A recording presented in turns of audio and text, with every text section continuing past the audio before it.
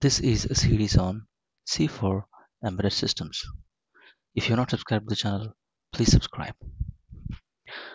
In this video, we will see more about the increment and decrement operators. So increment operators. The increment operators in C are used to increase the value of variable by 1.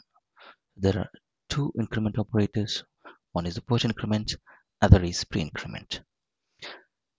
So in post increment, the way to use the expression is you have a variable and then you do a plus plus. Say for example, you have a variable called x. To do an increment, you do up x plus plus. So in post increment, the current value of the variable is used in the expression and then the variable is incremented. So if you do a y equal to x plus plus, what it becomes is it does y equal to x and then your x becomes x plus 1 so that's how it is evaluated. So in pre-increment the way to write operator is I have a plus plus and then the variable. Plus plus and then the x. So in pre-increment the variable is incremented first then its updated value is used in the expression. So similarly, if you do a y equal to plus plus x, here x becomes x plus 1 and then your y becomes x. That means the incremented value gets stored in the y. So both pre and post increments have the use cases. If the current value is needed before the increment, post increment is used. The updated value after the increment is needed, the pre-increment is used. So this is about the inc increment operators. Next, we have a decrement operators. Decrement operators are used to decrease the value of variable by 1. So similar to increment operator, we have uh, two decrement operators, the post increment and pre-decrement the way to define the post decrement operator is you have a variable and then you do a minus minus. The expression goes like x minus minus. So in post decrement, the current value of the variable is used in the expression, then the variable is decremented. So let's say if the expression goes y equal to x minus minus, here y becomes your x and then x becomes x minus minus sorry x minus 1 so that is how the value gets evaluated. So in the pre-decrement we have a minus minus comes first and then the variable. So minus minus and then the x. In pre-decrement the variable is decremented first then its updated value is used in the expression. So you have y equal to minus minus x. Here the x becomes x minus 1 so variable is decremented first. And then y becomes x. So i hope this is clear. So both post decrement and post decrement have the use cases.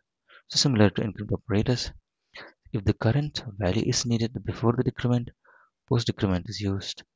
If the updated value after the decrement is needed, pre-decrement is used. So let's see this in the code. So well, in this program, we demonstrate increment and decrement operators. So let me compile this and execute. GCC increment decrement dot C and if I execute a.exe so here you can see the result. So it prints the post increment pre-increment post decrement and pre-decrement results. So well let's walk through the code a bit. So what we've done is on line number six we have a number one of type integer. So we declared it and initializes to five so then we have result 1 which is stores post increment post incremented uh, value so in post increment as we saw it used the current value then increment. So in this expression becomes result is assigned with num1 and then num1 becomes num1 plus 1. So the same is printed in 10 and 11. The value of num1 is 6 and the value of result is 5. So I hope this is clear. Similarly for the pre-increment we have num2 is assigned with 5 and here the increment happens first then the value is used.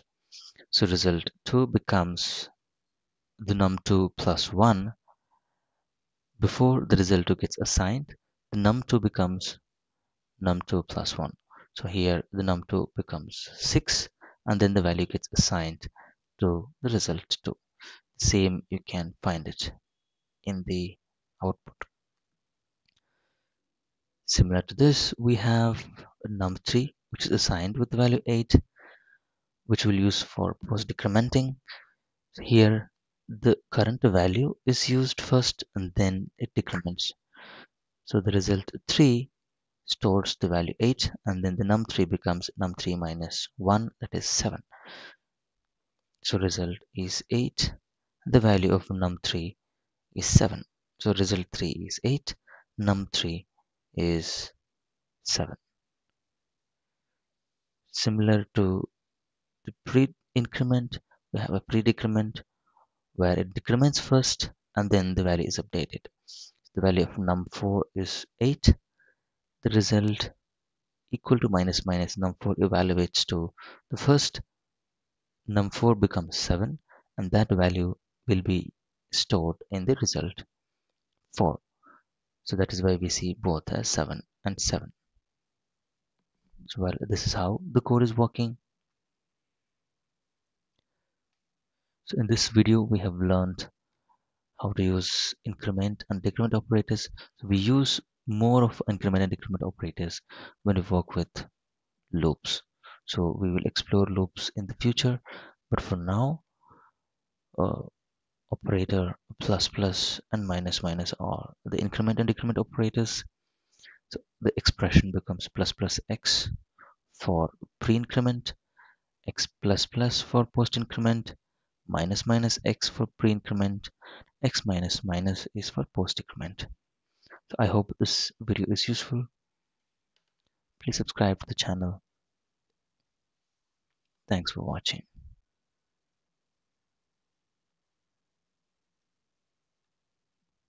Subscribe to the channel for more projects, courses, tutorials, and tools.